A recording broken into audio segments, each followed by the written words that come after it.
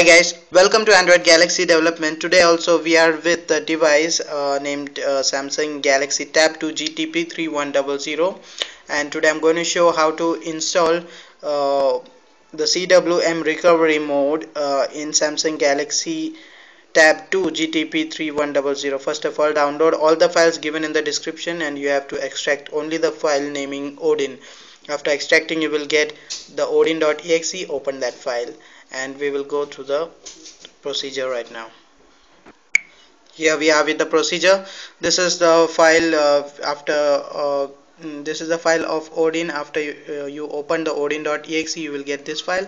And this is the file uh, named gtp13100 the it is the file of it is the file which you have downloaded that is ClockworkMod recovery. It is in the format of. dot .tar so there is no need to extract. Now you have to go uh, first we first of all we will uh, locate the files. Click on PDA and uh, locate it into uh, paste it into the desktop only so it will be easy to find. Go on desktop and uh, click on the file which you have downloaded that is gtp3100 clockwork recovery mode 6.0.1.0 double click on it it will be located in the Odin and now it's time to flash. For flashing you have to um, bring your uh, device to download mode for that you have to press your power button and volume down button. Uh, first of all power of the device and then press the power button and volume down button simultaneously. That means together you will get uh, a warning over here. It doesn't matter. It's uh, volume up to continue and volume down to cancel. So you have to do volume up only because to do this procedure you have to go through it.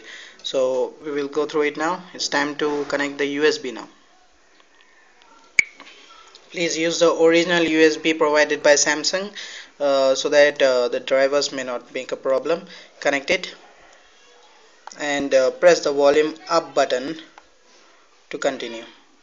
After pressing volume up button this is the situation in the, in the device and you can see in Odin there is a yellow sign it indicates that your file uh, your device has been connected properly. From here uh, the procedure is little bit fast. You have to go a little bit fast. That means now uh, after pressing the start button when it shows pass you have to disconnect your USB uh, so let's go through it. Press the start button over here. Look at this it has been shown pass so now you can remove or just remove the remove the USB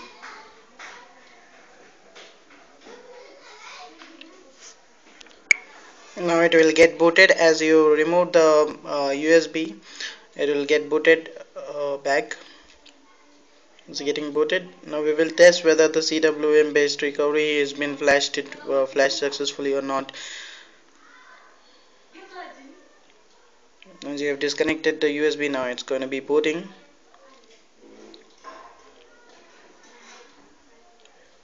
it will take a little time and you have booted successfully. And um, now you're going to just power off your device. Click on power off and OK and after power offing the device now you have to go uh, you have to press your power button and volume up button simultaneously to come into the uh, recovery mode. As you see the tab 2 uh, please don't leave your uh, power up button I mean volume up button and you have to just uh, press the volume up button and uh, you will see that you will be booting into the CWM based recovery mode. And you can see yeah here it is. You're now in the CWM based mode uh, based recovery mode. You can see the, all the options are over here and you can start using it. That's all with this video. You have uh, flashed the CWM based recovery version 6 on tab 2 GT P3100 successfully and now you can start uh, flashing uh, new ROMs custom ROMs take backups add and do much things with it. So that's all with this video. Uh, please like the video comment if you have any problem and uh, please do subscribe to the channel. Catch you later guys. Thank you for watching